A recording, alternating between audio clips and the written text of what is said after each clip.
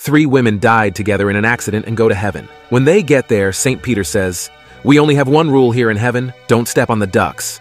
So they enter heaven, and sure enough, there are ducks all over the place. And although they try their best to avoid them, the first woman accidentally steps on one. Along comes St. Peter with the ugliest man she ever saw. St. Peter chains them together and says, Your punishment for stepping on a duck is to spend eternity chained to this ugly man. The next day, the second woman accidentally steps on a duck, and along comes St. Peter. With him is another extremely ugly man. He chains them together with the same admonition as for the first woman. The third woman has observed all this and so is very, very careful where she steps.